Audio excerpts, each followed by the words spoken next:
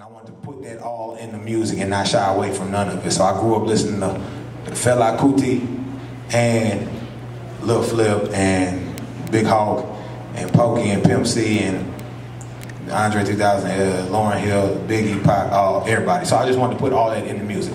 And, and I feel like I really did with this project. And in a minute, we're gonna go in there and go through all the tracks.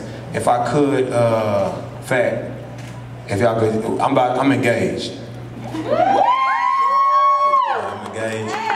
And Fat is here. Fat, if you could. If you could, Fat. Fat, please. Love for Fat.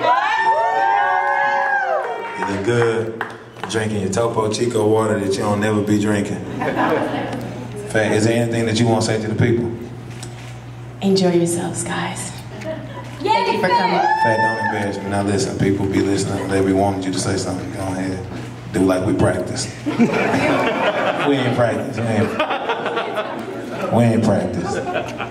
You want to say anything? Um, I really hope y'all enjoy the music once y'all listen to it.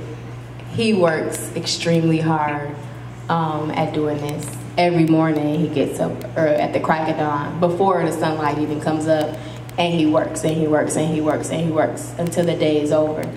So um, I hope that y'all can feel that in the music when y'all hear it. Thanks for coming. Thanks for coming. Thank y'all. Good job. I work real hard. If y'all didn't know, me and Fat are abstinent, so I have a lot of energy. To put towards, I have a lot of energy to put towards the music. But December 16th, ah, let me just tell y'all, December 16th, don't call me.